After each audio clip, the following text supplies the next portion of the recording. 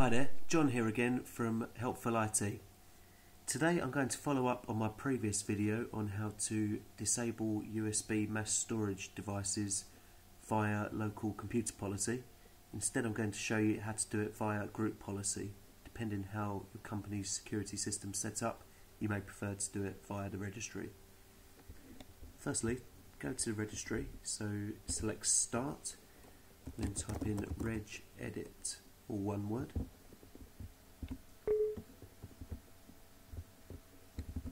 Once inside, you need to go to H key local machine, which I'll show you. H key local machine, then open up to system, current control set, services, and then all the way down to USBSTOR. Here you'll see the option